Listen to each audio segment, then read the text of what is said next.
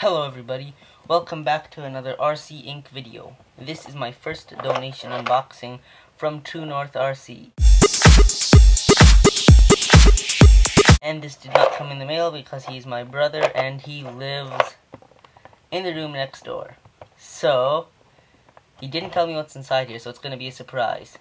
I'm really excited, so let's open it up. Cut the nice True North RC sticker. And open it up.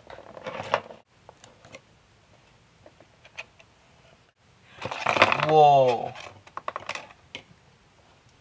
This is the servo, not servo. This is the uh, the ESC for Project Torment. That's so cool. Thank you so much. This is epic. This is so awesome. Look at this. Traxxas XL5. Uh, why do I keep saying servo? Traxxas XL5 ESC. This is so cool. But I'll have to attach a plug to these wires. I'll probably go with Traxxas. This is very nice. Beautiful. I assume this came off his Slash, which he upgraded to Castle. And this is just so awesome. Now I'm pretty much almost ready to run Torment. Just needs a few more parts. What else is in here? A True North RC card. Very cool.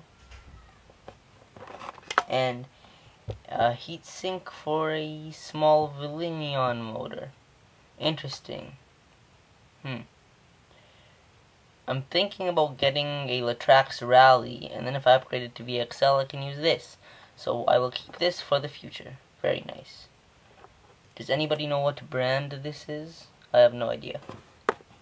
And of course, these steel turnbuckles, which are much more durable than aluminum. So this is very cool. And I will keep this box. So this is a very awesome creation. A whole ESC. These are very nice. This is almost new. Very, very cool. These, which I will need to get him running. And this. Uh, I can't remember the name of anything today. Plus a business card. Hey, I guess I can use this for like a business card holder. What do you guys think about that? There we go. So thanks to True North RC for donating this stuff. Thanks so much, man. This is awesome stuff. That's it for this unboxing. See you guys next time.